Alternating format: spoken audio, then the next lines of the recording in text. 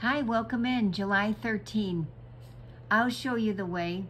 God wanted them to look for him and perhaps search all around for him and find him. But he is not far from any of us. Acts 17, verse 27.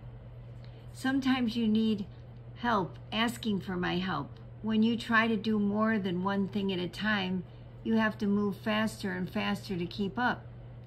Then while you're trying to do one thing, like studying for a test, you get interrupted by something else. Those interruptions can stress you out. The best way out of this stress is to stop everything.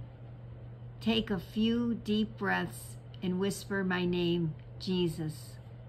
Admit that you need me to guide you through your day. I will lovingly and gently lead you down the paths that are right for the good of my name. You usually take time to ask for my help when you're getting ready to do something hard. But with everyday things, you often jump right in, as if you can handle it all on your own.